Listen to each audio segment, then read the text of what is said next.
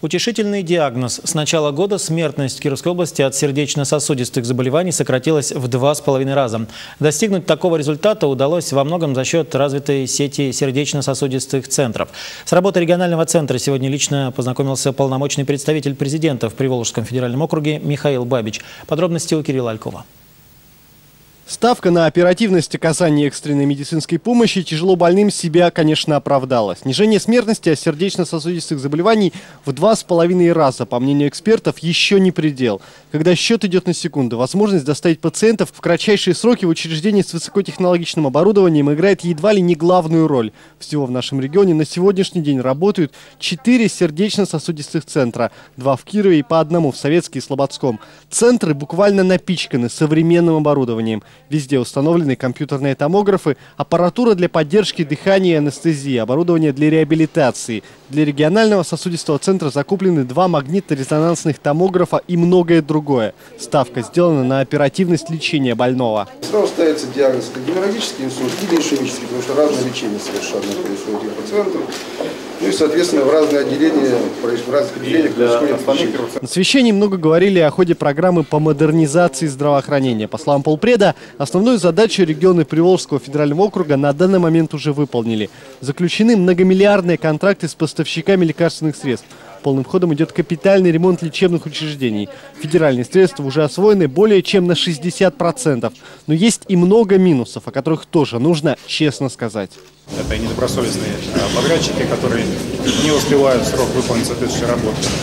А, в какой-то степени строительный комплекс или местная организация, которая особенно работает на уровне районов, муниципальных образований, оказались не готовы к такому объему работ и к такому качеству работы, к тем требованиям, которые выдвигаются по качеству.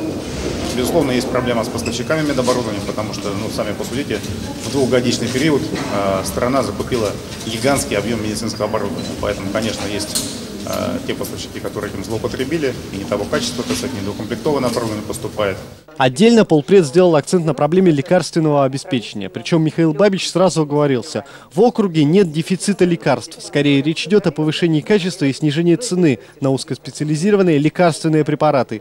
Некоторые подвижки в этом отношении уже есть. В Слободском власти решились на уникальный эксперимент.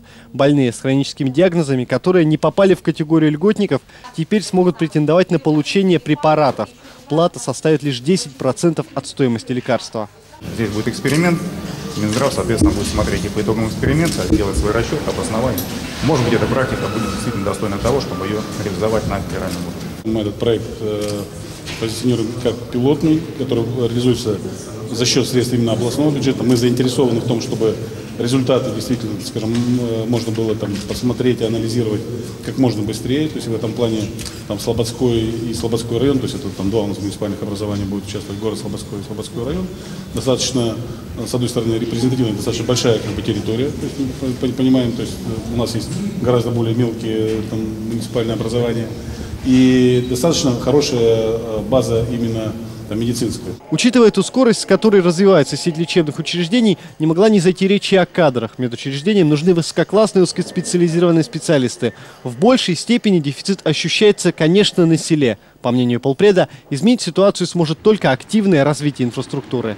Когда мы хотим молодого специалиста отправить там, в сельскую глубинку, в сельскую местность, мы должны не забывать, что там по Конституции, по российским законам, мы как власть, как государство, должны обеспечить его соответствующими правами. Там, право на жилье, право на труд, право на воспитание, на образование детей и так далее. Да?